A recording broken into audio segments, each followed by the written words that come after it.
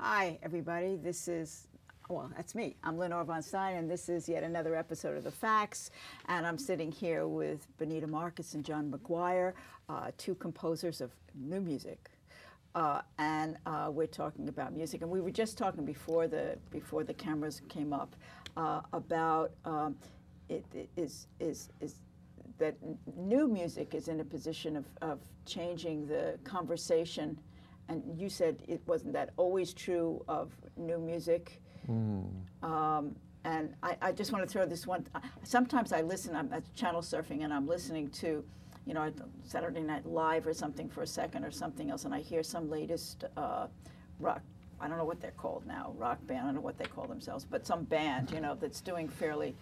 I seem I would immediately I think it's going to be pretty pedestrian, and then sometimes I'm struck by the asymmetry that's creeping in to this to the rhythms to the to the, of of the music and that's heartening mm. um, and um, so is, is, is new music in the in the in the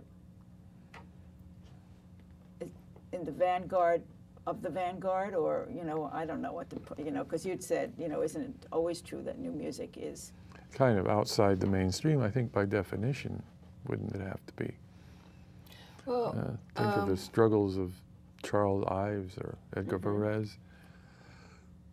It's been going on like for a long time. These are Americans. I mean, if we looked mm. at the same time period in Europe, we wouldn't, we wouldn't be calling it new music or experimental music. I mean, they, they were more experimentalists in a way. Um, they?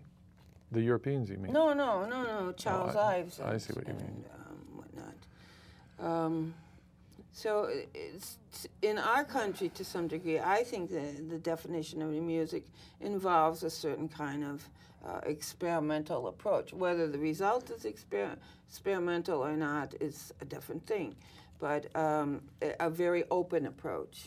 By experimental, you mean I, I, I, get into fights. I've gotten into fights with people on New Music Box when they said my work was experimental, and I said, how can a how can an artist be doing anything but experimenting? I mean, it's it's all experimental. So how can it be experimental? Doesn't it? This Other people take exactly the opposite tack. Like Varese says, I'm never exper- I do all my experimenting at home, and when the music is done, it's not an experiment anymore. It's finished. Yeah, I would agree with so, that.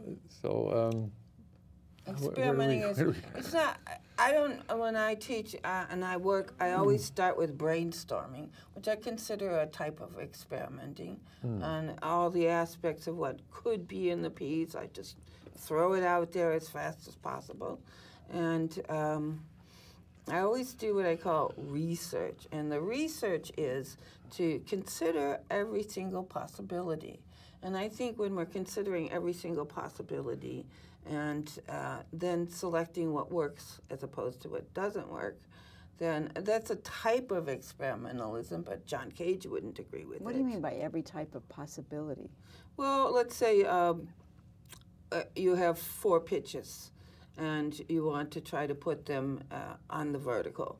You could put them close together, you could put them far apart. I see. So you consider you could put them in different registers. You could invert the pitches. So you have so, a very close definition first, and then you, then you find yes. out all the all the variants that could all take the place variations.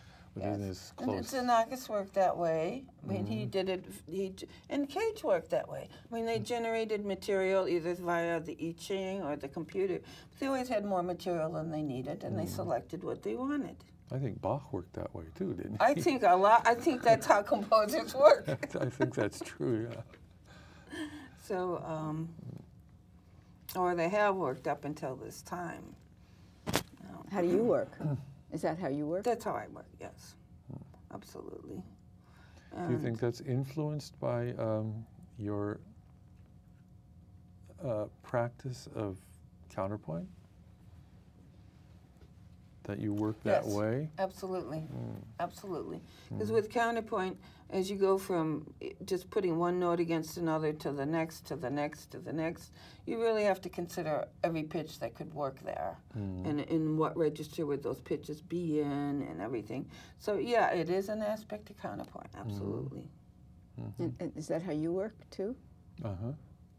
I think we've all been infected by this, by this same tradition. Yeah, I, I did a lot of counterpoint practice too. Mhm. And so did Cage. Yes. And I studied counterpoint, the old Viennese style, when I was a teenager, years and years of it. And so, in a way, I was trained like a European. Mm-hmm. And I was trained by a European in Madison, Wisconsin. Uh, but um, he could not teach me composition. Because Oh. even though he knew everything that led up to composition, when it actually became time to compose, he didn't know what to do. Mm. And um, so he, was he a composer himself? I don't know. Was he a Oh. theory person or? He was getting a PhD in theory, yeah. He was from Austria.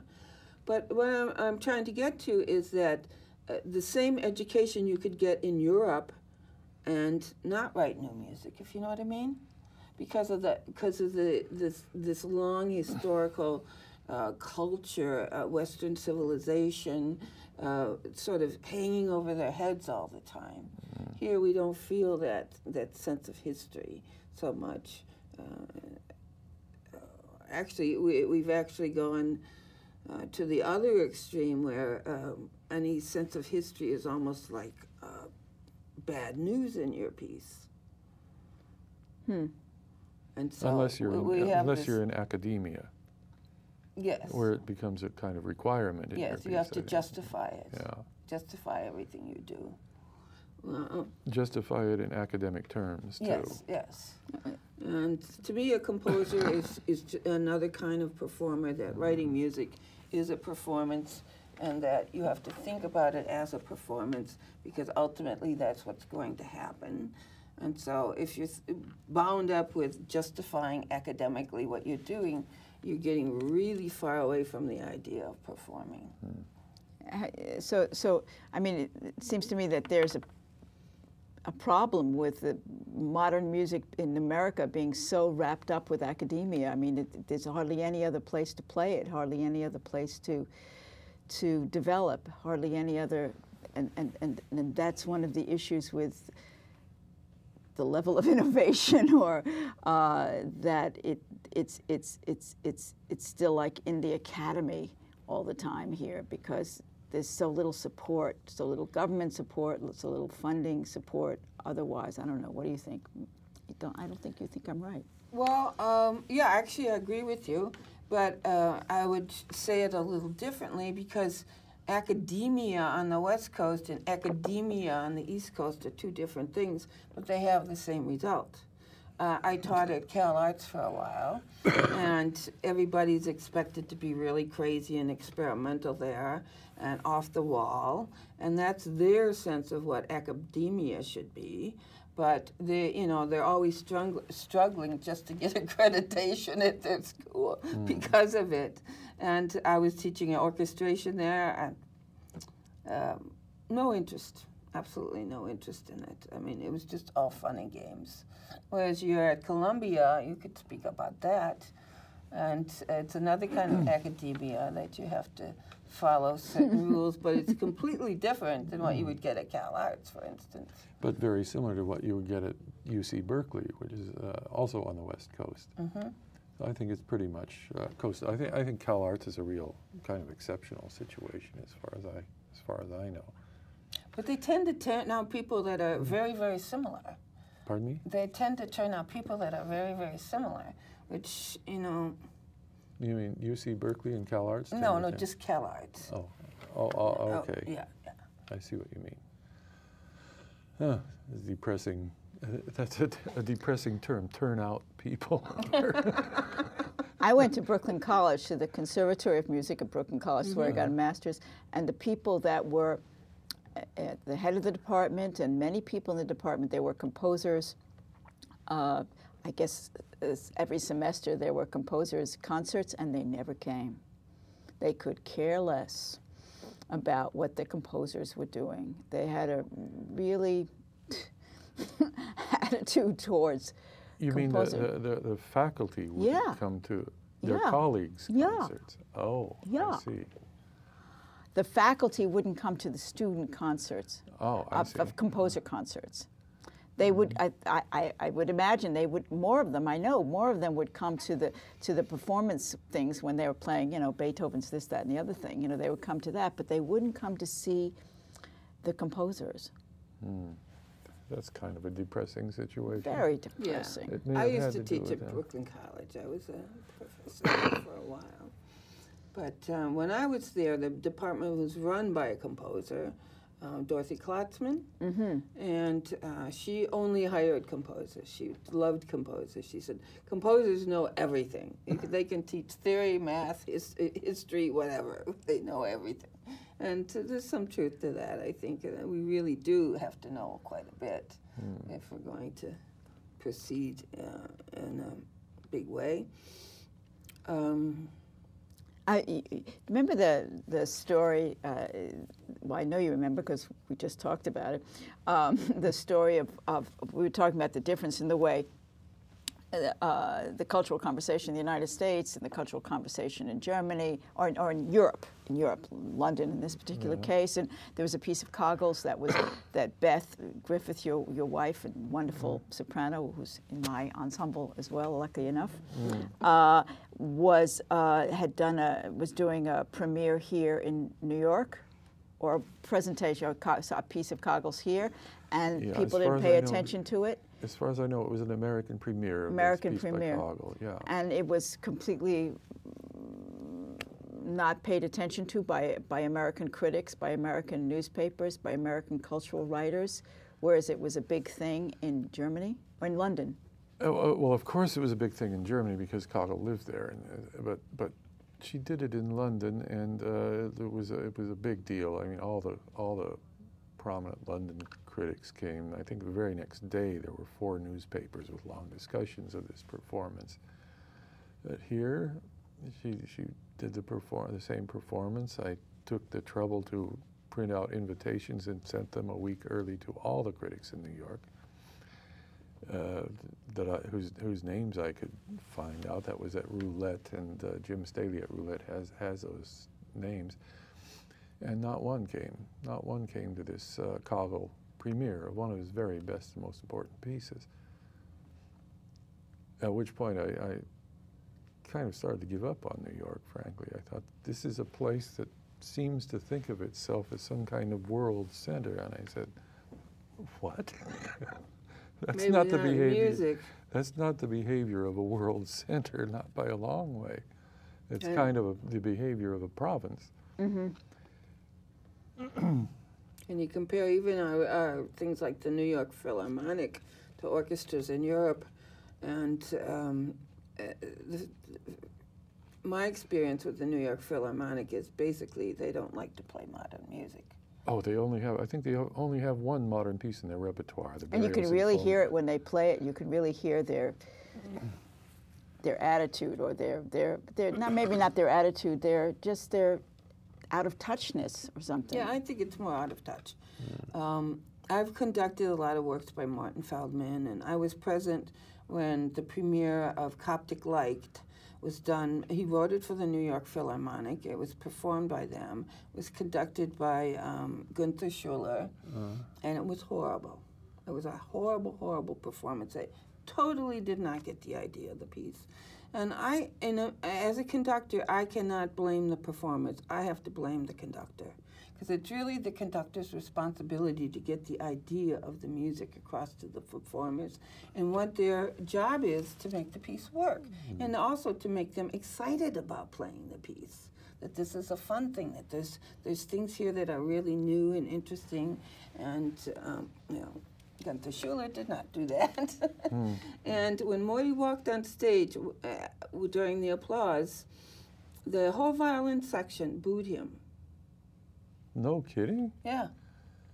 You mean they were boo like that? Well, loud enough that people could hear. Shit. Unbelievable, huh? And but you know, it, but that was a prejudice that I think would not have been there had there been a different conductor. Certainly, that's that's a conductor's fault. Yeah. Mm. Wow. So uh, why did the conductor undertake to do the piece in the first place? You know? I, uh, who knows? I mean, Jacob Druckman was the person who programmed the concert, uh-huh. so maybe it was some relationship there. I see. Okay. Uh, let's talk about. I got this list here. It's, it's getting mighty skinny here. Uh, so that won't stop us, right?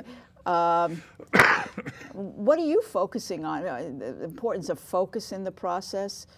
Uh, well, we talked about that a, a, few episodes ago about not having the roiling and and and uh, so that you can um, uh, you can calm. You need a calm place in which to mm. in which to uh, do stuff. Over the years, because there was many years where I didn't have a private place, and so I got used to making this you know, just cutting off, and no matter what was going on around me, I just would work because hmm. uh, one had to. And um, so, um,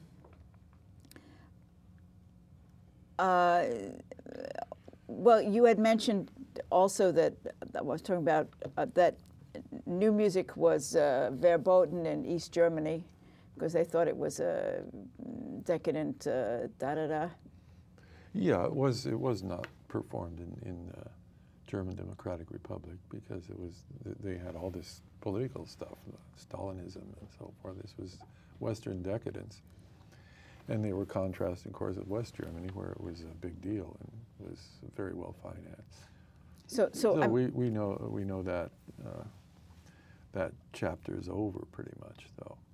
But, but the, the, the, the, continuing chapter of parochialism in, in the arts or the way it's looked at the arts, I mean, when you told me that mm. story, what flashed in my mind was the picture of uh, the the paintings of Nixon's daughters that were at one time that were were were they were incredibly bad. They were uh, and and um, it's the same, you know, it, it, it's, it's the same thing on the right, this kind of, you know, as it was on this kind of right left, you know, Stalin, who, you know, is he on the left? I don't know really what he is.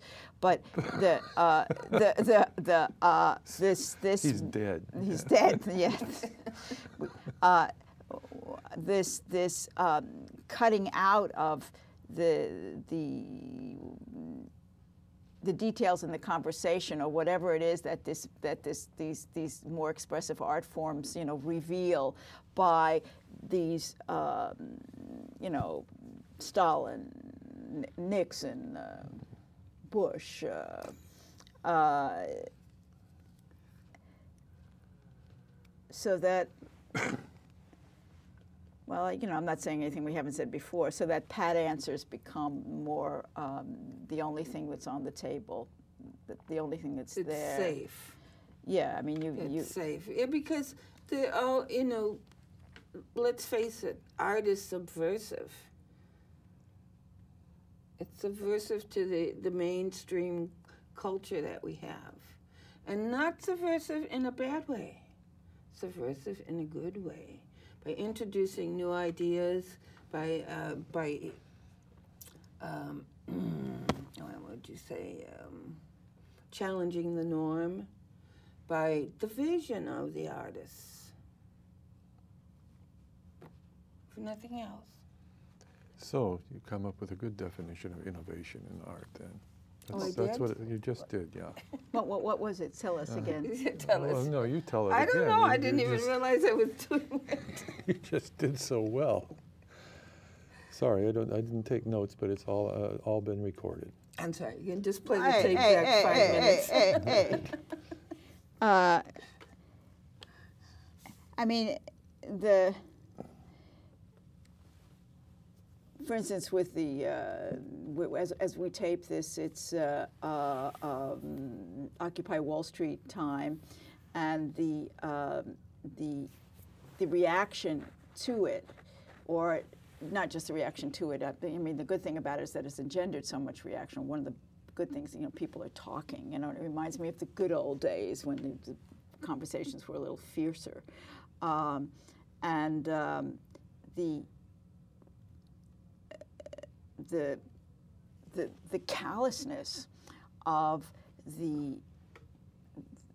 I, I stood with them one day I went down and stood with them and the bankers that walked by and the different people that I don't know if they're all bankers, but they're nicely dressed, some of them, and the and then I was at a par- your party, and somebody was telling me, who's a lawyer down there, of the he was talking about the people that he works with and their attitudes towards them, and I, I know somebody who said, "Oh, it's just a fringe group," and and um, the, the this combination of ignorance and callousness that that is um, sort of coin of the realm, and and uh, and is is supported is by a culture that supports it. You know that there haven't been other cultural, in, you know, there haven't been enough other cultural inroads. You know, art is the subversive. There isn't enough chance for the subversive. You know, punching enough activity punching through the bag uh, to to do their part in moving this conversation along. This this this this. Um, I mean, sometimes when you're, I mean, I grew up in a political household, and, and, and sometimes it you know, the, wasn't true of my parents, but often kind of sloganizing, which is an easy thing to fall into, and sloganizing art that goes along with it, you know, propagandistic or, or um, I mean, I watch Democracy Now, which I'm really very fond of, but I don't think she's ever had a serious artist on Democracy Now. You know, not a serious musician anyway. Mm. It's you know, it's all bum da bum da bum da bum da bum da bum. You know, uh, come on. Mm. It's like the door suddenly, you know, is closed on the the um, the quality, you know, the, the other qualities of uh, expression and. It's very sad because there is so much ignorance in our country. And this ignorance is, of course, leading to all the financial problems that we have today. Uh, but it, it's also, I particularly see it in young people, especially young people who are isolated in small towns and places like that, where they don't have options. And because they are not educated, because their schools are not giving them a variety of things to choose from, and because maybe their parents are square or just out deer hunting or something, um, they don't. Um, I just see over and over again uh, kids in small towns. I have sisters that live in small towns by the time they're 18 or 19, they're on drugs, they're on heroin, they're committing suicide. Uh, they're just, and it's all because they don't know that there are options and other ways to live in the world. hmm. And that's why so hmm. many of us leave our hometowns and come to New York because we know there are options and they're not available in our hometowns. And we want those options. We need those options. We need those options to survive mm-hmm. as a creative individual. So listen, fine art is like a like a vault of options. It's it's just mm. chucky block full of full of full of full Ch- of options uh, that um, so you you know help you, um, you know, because there's endless ways to do anything. Mm. But there certainly are a lot of walls, a lot of barriers to uh, to understanding that, to moving ahead. But but. Um, so what do you do about it? Uh, um, you asked the question about focus. do you have some way of narrowing down these all these options when you when you speak of focus? I assume that that that's what you're talking about focus in terms of when I'm focusing on what I'm doing? Or? Yeah, focusing on the process of composing is what I'm what I'm assuming that you're talking mm-hmm. about when you mention focus. Yeah, I think that's a very good way to put it. I, well, I, I, I haven't get, put anything yet. I'm just asking. Well, I, get, I get lost. I get, I get, I get, I get. I, am writing a piece right now for viola, and I and yeah. I've never written for viola before, solo viola, viola, and uh, yeah, and uh, and uh, first I started. Here was my process. First, I started thinking about. I know this violist because she's in my ensemble, and uh, I started writing. You know, trying to hear her or, or, listen for her or feel her. And then very quickly I realized I, I don't know her well enough to, I don't know.